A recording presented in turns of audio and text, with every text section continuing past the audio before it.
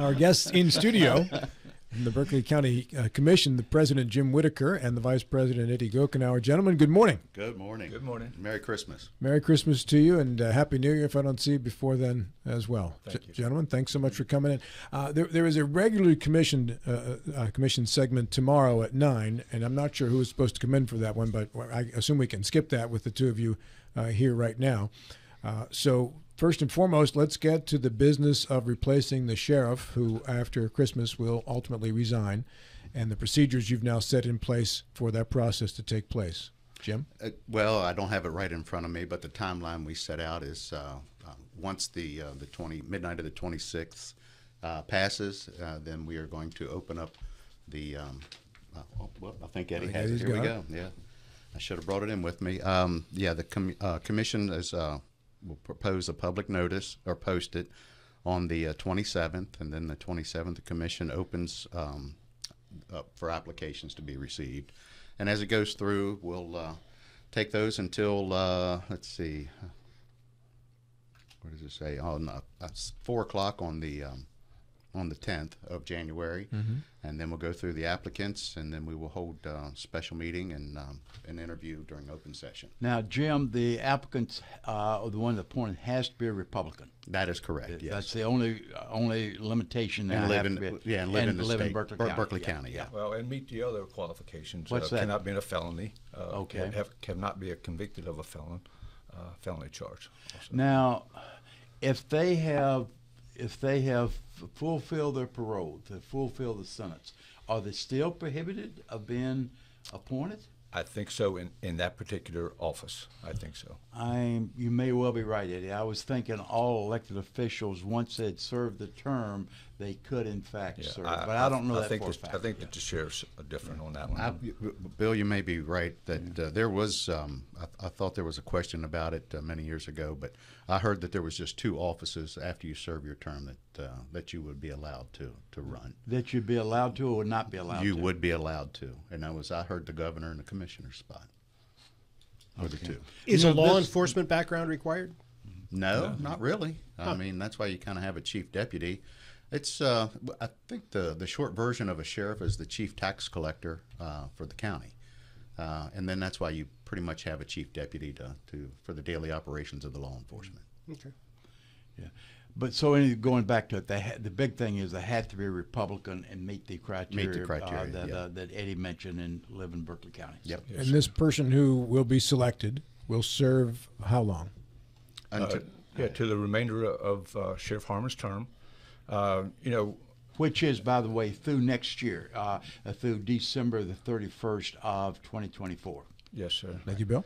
Uh, yeah, I mean this and this um, this schedule right here. Uh, you know, we took in account, and and the early conversations were very similar to what they were when you guys replaced uh, the assessor a number of years ago. Exactly. Uh, you know, we we had discussed about a, a two week uh, period of uh, application process. Uh, we've discussed about the fact that uh, we we would prefer folks who were not interested in running for that position. Um, but but after some further uh, time and, and discussion, um, it was discussed that look, this has been publicized long enough, and a, a 10 day period should certainly be suffice for people to get their uh, application and or resume in uh, for this position. And um, and, I- and I, I spoke personally with the, with the rest of the commission that I understood the premise of that uh, suggestion of getting somebody who was not interested in running. So, so if if we look at this thing, and, and if we had ten applicants, for example, and we went through this thing, and like maybe the first two uh, that really came to the top had a desire to run for sheriff. Okay, so we're going to set them aside, and and then we would have to settle for the third best person to run this office. We just felt that that was n- not a good decision, and and that we were going to move forward uh, regardless uh, of that. I tell you, this this is a big job, and you know he's got 67 deputies. Uh, there's probably between the tax office, his civilian personnel, there's probably another 25 or 30 civilian employees. This is a 24 hours a day, seven day operation, and they they need they need good uh, leadership in that role right now. They need accountability. Uh, so that department currently, because of, of all of the issues going on, they're they're fractured. So um, they need a healer and uh, get this department. They're a good bunch of people, and they serve this county very, very well. And uh, I tell you, I'm I, I'm proud of them. I, these these guys do a heck of a job, and um, but they, they they need some good, solid leadership that will get in there and uh, just take care of them and, and take care of the public. Eddie, the resignation for Nate uh, Harmon, the current sheriff, takes place day after Christmas. There was a petition to remove filed by the prosecutor of Berkeley County, Katie Oaks Delligatti, was supported by the commission uh, in a vote that you took. Was there any thought to asking for the immediate resignation as opposed to the cushion between now and the 26th? We weren't really involved in that plea agreement, uh, so I, I don't know. I can't tell you the exact reason why that particular date was chosen because we were not part of that discussion. It, does it has it created an awkward situation in the department? I would think it's a little bit awkward, especially uh, in the agreement that uh, the chief deputy has a responsibility of personnel. Uh, so, um, but as you just saw this morning uh, on on the Facebook, you know, the Sheriff Harmon Sheriff Harmon has. Uh, you know, put out a, a release about the shooting last night involving our uh, state troopers. Uh, you know, so he's he's still doing his job, and, and he is still the sheriff of Berkeley County until uh, midnight of the 26th. And uh, you know, I, I applaud him uh, for his leadership uh, right here in this particular instance. A very difficult time, but uh, he Will his chief deputy assume the role of sheriff until there is an appointed replacement? yes, sir. Yeah, that was the, well, not so much a discussion, but that was what everything led to. So there'll be a period for th- uh, 30 days, correct? Yes. Yeah, 30 days. Uh, when the person who succeeds Nate is appointed, when will that person then take the office? That moment, or is there a delay between the, the appointment and then the actual positioning of the job? That will be on the 18th. 18th, Uh, yeah. The swearing in, he can. uh, actually, be sworn in on the 19th. 19th, yeah. All right. What was uh, what was the relationship between the commission and the sheriff's office prior to February of last year, when when all this kind of happened, and your opinion of how the office was working before that? Well, for me, I, I thought it was a, a very good working relationship. Um, I think he had the support of, of all of his employees over there, uh, even within the tax office. Um, I, you know, for for what has happened or what took place after that, um, you know, I, I understand as a father, but still as an elected constitutional officer, you know, it's uh, nobody's above the law. So, So the replacement has to be a Republican. yes. What makes a Republican a Republican? What are the bona fides? If this, if you have somebody who's been a lifelong Democrat and for the sake of this says, okay, I'm a Republican now, Registered. registered. How you're registered. registered as a Republican. That's all. okay. And wh- what is the partisan element of being a sheriff? Why does it matter if somebody's a pol- uh, Democrat, Historical. Republican? Historical. That's the only reason. Mm-hmm. It's always it's always been that. But we're moving away from it, John. The judges were always partisan, and we've recently, about ten years or so ago, we made them nonpartisan. Uh, I think at the local level, all officers should be nonpartisan. We look at the county council, county commission; they're elected as an, as partisan, but they do not act as a partisan. Uh, there are none of the elected officials that I know have ever experienced anyone carrying a banner. I'm a Democrat. I'm a Republican. They all act as nonpartisan. Well, but at the commission level, where policy is being made, there's certainly opportunity. It would make sense of why partisanship is part of the electoral process. You know, people think one way or the other, and then the the county policies evolve from that. But for the sheriff, whose job is merely to enforce the the the will of the commission and therefore the will of the people, I don't I don't see where there's a partisan element to that. It just doesn't make sense to me. much like the much like the judiciary, I don't see a reason why, and they're not why why judges would be partisan. Just partisan. the way it's set up in the Constitution, Yeah. right? And, and that is that is just the way it is. Yeah, and in this in this process, you know, as as we discussed, you know, a little bit ago, uh, we're hoping to be able to get the best person to fulfill the remaining unexpired term uh, of the sheriff, and then in November, the voters will select the next sheriff of Berkeley County. But it's our job, we feel, that we find the best person for the next 11 months to be able to go in there and lead this organization.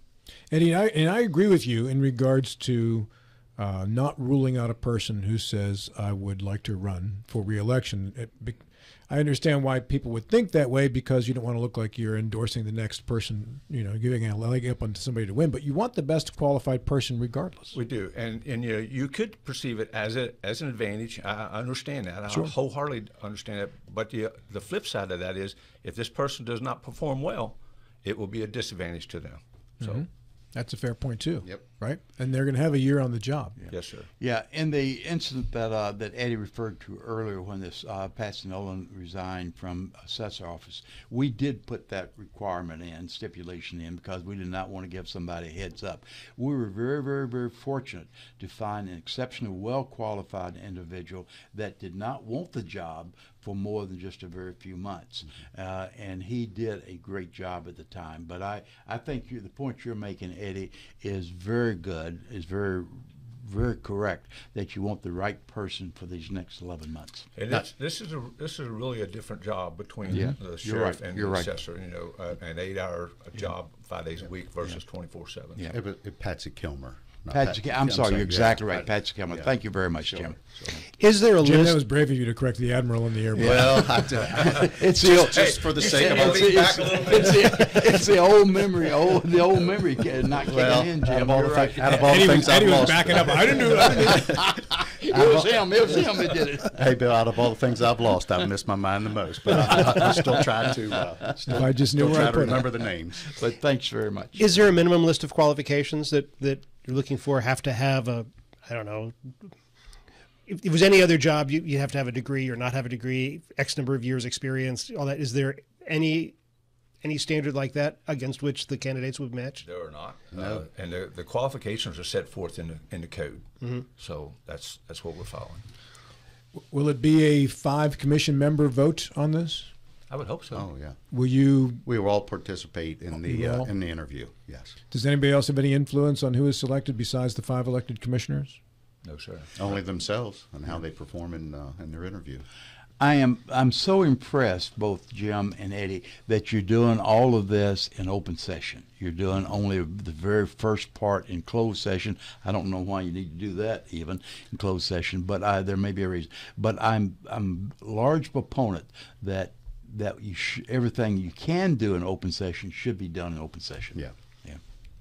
And that was our goal to Yeah. be as And, transparent. and it's showing that, yeah. Yeah. So, and also you're going to be doing it on Zoom, are you not? Or at least you're. Uh, oh, it'll be uh, on the web. Yeah, On the web, that's Yeah. right. Yeah. On the county's website? Yes, You're sir. Broadcasting the, televising the meeting. Absolutely. Very good. Uh, now, in, in regards to the rest of the county's business to close out the year, any particular news you want to share as we finish out the year of 2023? It's- Jim, you're the president. Well, I tell you, it's been a it's been a, uh, a very uneventful year, uh, with with some events that have taken place, and um, uh, and I want to thank Eddie and Steve and HD and, and Jim for uh, for having their confidence in me for the leadership uh, of being president this year. Uh, Eddie, of course, I mean, thank goodness he was vice president. I mean, my work took me away for quite a while. Uh, you know, not every day here, but uh, but Eddie uh, Eddie helped fill that gap for me, and I want to thank him publicly. Uh, yeah, it's you know we're we're a team, and it's it's very good that we can communicate uh, very very well and uh, support one another. And uh, there's a lot of things going on in, in this county. But I tell you, one of the one of the things that we're really proud of, and it just it kind of finalized itself uh, last week, is the uh, the approval of our TIF districts uh, from the uh, State Development Office. Those, those are big. That's, that's a big deal, and it, it gives a, a, an opportunity for growth to pay for growth, and it's it's already got got some interest. Uh, uh, in, how, in how will growth pay for growth with the TIF district? well, you, you take that, that increment, you know, from the from the base tax that it is today, and and when that increment is added, it's that different uh, uh, increase in tax on that particular property uh, will go towards our infrastructure, whether it's road. We could actually build a road with that. We can we can do uh, water or sewer. We can build a public safety building. That's hopefully that's the intent on the north end of the county. So instead of going back to the taxpayers to for rate increases, that hopefully that money will take care of that particular infrastructure. How about the Crawford building, Eddie? You have not mentioned that. That's Yeah. going to be Well, a real need. That is, well, we have uh, come up with a solution uh, as a temporary fix Okay. to uh, to move the uh, an agreeing judge over to the old sheriff's office. Okay. and uh, that's that's kind of fell into place and, and welcomed. But uh, the Crawford building to renovate it, uh, we're it's a two year process, and I think the uh, the the two year bonding that we're probably going to have to get is uh, ten million each year for two years to take care of that project. But with the growth in the judicial center, Yes. we've got to have it with the circuits and, that- the magistrates. Yeah, and that is uh, that is not by our choice. That is Yeah. by our demand. Yeah. not our demand. The uh, um, the Supreme Court's demand. But but we have to have it Yes. anyway because the judges are totally overwhelmed. They Yeah. need they need relief. So having additional judges, magistrates is required. So Yeah. But the Crawford building is an integral part of Yeah. that. So. Uh, Before I go too much further and forget, uh, I want to thank everybody in our office: Gary, Penny, Tracy, uh, Julie, Anthony, Penny who? uh, Penny. the heart and Penny. s- the heart and soul of the of the office. she is, and uh, and Anthony and, and Jeff and uh, oh Elizabeth and Tracy uh, on down in Grants, and I'm, I shouldn't start naming names because I know I'll forget somebody, but I really want to thank all the uh, all the county uh, staff for, for all their hard work. You this have a wonderful uh, staff that work with you. yeah. Jim, does it- another vote in January take place for who will be president, or does the president follow you until the end of your term? No, no. It uh, there'll be another uh, another vote in January. We do it every year. Will you like to be president once again? You know, uh, I've I've, I've enjoyed it. Um, uh, would I like it? Yeah, maybe another time. But uh, I think uh, I think it's we all should be able to take that uh, that torch and run with it at least once. So you're saying you might like to rotate it to somebody else next I year? Yeah. That's a very interesting thought. Yeah. Very unselfish of you too. Well, it's uh, you know we're all there together to do to do the work of the county. Uh, just because I was the president doesn't mean that uh, you know I, that there's any special thing that goes on. Bill, you were there also, and uh, but it's all of us together. Yeah. I like to think of Now, us when- as, when- as that good team. When Bill was there, did he not change the title to King of the Commission, if I remember that correctly? No, emperor, emperor, emperor. That's what it was. Emperor, oligarch. I, rem- I think I remember that. But it was a close vote. Very Yeah, it vote. was, yeah. I, I wouldn't let anybody else vote. I just voted myself. Here comes the bus. Here comes the bus. So, Eddie, Eddie, the spotlight then is, it goes on to you as the vice president. Would you like to be president next year? I've, I've considered it, and uh, I, I, you know, I'm, I'm into having that discussion. You know, but you know, one of the things that I've learned from Jim uh, this year in particular is that his uh, desire for uh, the council, the commission, to be inclusive. You know, he and I go to him and say, look. I don't particularly agree with this. You know, what do you think about this? He's open to suggestions, and and that's that's really that's really good in a leader. Uh, so I I really appreciate that because sometimes my thought process doesn't quite line up and Somebody told me a long time ago, if we're all thinking alike, somebody's not thinking. That's right. But now, just for clarification, I get, I got the impression, Jim, you'd, you'd like to be president for one more year, and then after one more year to start the rotation. Well, you you're close, but not Oh, quite. I, okay. I'm, it doesn't have to be. I mean, like I said, I know it doesn't have yeah. to be, but I you're, I was talking about your If- preference. Your yeah, preference. If if the uh, Yeah. if my fellow commissioners would, Yeah. would like that, I'd be more than happy to do it. Yeah. But if they uh, if they want to Yeah. choose again, that's that's fine too. I mean, we're all there together. Well, Jim, you have you have corrected Bill on one thing and told him he's wrong on another, and I want you to know I'm that. getting very uncomfortable. you you get to leave the room afterward, but there's repercussions for the rest of us. well, I'm not coming between him and those donuts. I'll leave that alone. I appreciate that. Uh, you mentioned the year of 2023, and you had to replace uh, the administrator, uh, Alan Davis, who'd been there for uh, what a decade, I guess, uh, Yeah. as the county administrator. Uh, you were fortunate you had a candidate like Gary Wine, who was already in house to replace him. But uh, clearly, when you have to replace a county administrator, there's a disruption. That's a big deal, and I tell you, uh, both of those gentlemen are hardworking people, and uh, and Gary, he he's he is one of the hardest working, uh, most open person that I've ever worked with, and uh, we're very very fortunate to have him here in the county. Can I add one more adjective? Sure. He's hardworking. He's easy to work with, but he's also smart. He's very smart. Very, Very. very smart. So. Yes, he is. All right. Uh, any final questions for our tandem from the county commission, Bill or John? Well, I, I just want to applaud them for what they've done. They've uh, uh, they have a team, and Jim's mentioned that, and the team is emphasized. That's not always been the case, but it is right now. So I want to applaud you gentlemen, the other your other three members. I used to joke around. There's no I in team, but there's an E in me. yeah. Hey, what, are, what are the big goals for next year? What are the home run swings? Well, you know, working with the legislature uh, coming forward, you know, we've got a lot of stuff in front of them, and uh, they're very important to Berkeley County. So that that will be a The number one priority, if you can pick one among One those. cent sales tax. One cent Yes, sales sir. tax. Absolutely. So we can get more firemen, more policemen, more school resource officers, more dispatchers, more prosecutors. All those things involve public safety, and that's our that's our biggest need moving forward. Is that part of the home rule? It is. It is. Uh, and I'm not. You know, I would not say that we need total home rule, but give us the flexibility for a, a growing county to be able to do the things that we need. It that's that's what we need. I do have one question from uh, for you from our audience from Jeff Haddix. How are you preparing for the money from the West Virginia First Foundation that will flow to the counties because it's a pretty strong amount of money? Well, right now we're in a uh, what is it, three and a half, four million dollar project to uh, to add on to the Day Report Center. So you know the funding that uh, that will be coming from there will, will go to increase the services for you know for that need of the of the county. Eddie? Yeah, and, and we're really, you know, I'd really like to look at opportunities that we can do stuff in a regional basis uh, from some of that money. You know, whether we partner with the city uh, on a project where their their funds from that and, and our funds can go together and do something really good, something that's needed. I know that the the uh, the mayor has uh, looked at a, a detox center, so you know the, all those things are a need, and uh, let's let's look and see what we can do together.